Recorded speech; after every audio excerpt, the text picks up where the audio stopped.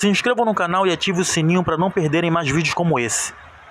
Eu me sinto foda.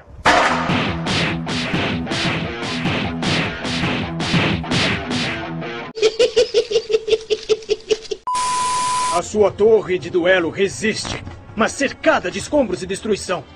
Ela representa o seu coração, uma fortaleza cercada de rancor e revolta. E enquanto você for movido pelo ódio, jamais me derrotará. Aham, sei.